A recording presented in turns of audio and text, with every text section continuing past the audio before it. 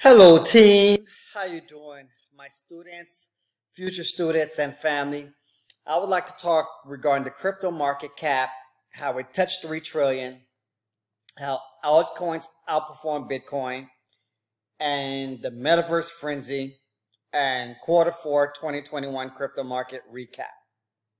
And yes, we're in 2022 now. Okay?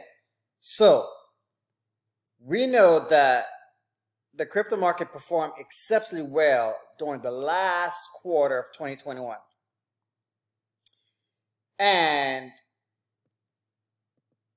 it did hit 3 trillion. So, however,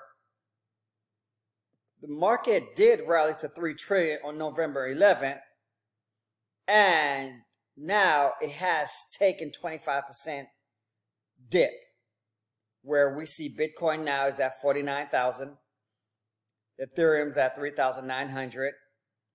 BNB is at 551. Solana, I believe, hold on. Solana, I do believe, is uh, Give me one second. Uh, I, I think it's less than that, but we'll leave that alone for now. Okay? So, we know that Ethereum continued in its, its impressive growth. It started the year right at $500 and now it's at the 4,000 mark. We know that Terra and Avalanche overtook Polkadot, and Dogecoin to become the ninth and tenth largest digital asset by market cap. And Cardano was the worst performing major digital asset, losing about 30% of its market share. Okay? Now,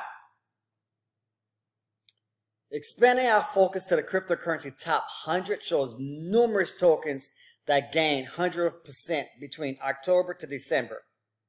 We have the Sandbox, a metaverse-focused gaming pro project, was the biggest mover, short over 900% over the course of the quarter. We had Cardano, Spell, Token, Loopring, and Gala. So when we look, we see Sandbox right here, the last three months, 916%. Cardano, 835, Spell, 592, Gala, which I love, 490%. And we see on and on. And CRO, which I love, 288%. Now, Bitcoin did reach an all-time high, suppressing the pre-China crackdown in May, which I loved, I like.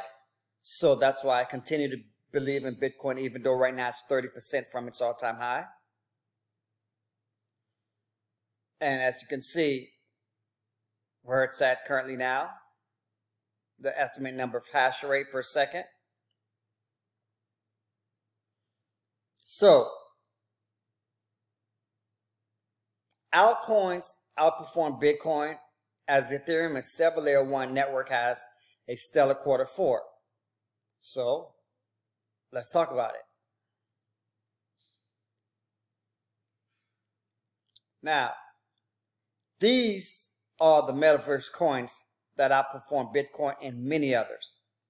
So we had the blockchain gaming projects that benefited from Facebook changing their name to Metaverse. I mean Meta.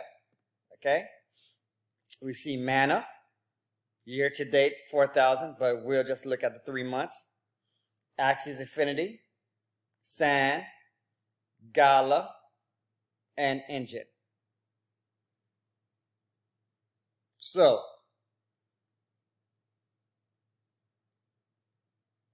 CRO, which is a digital asset exchange, massive sport deals to introduce CRO to the mainstream audiences. So that's why I'm bullish also, and I'm running with Crypto.com coin. So, final thoughts.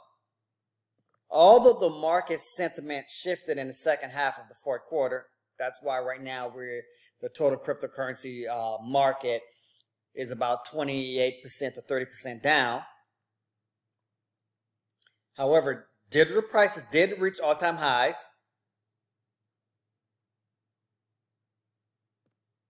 And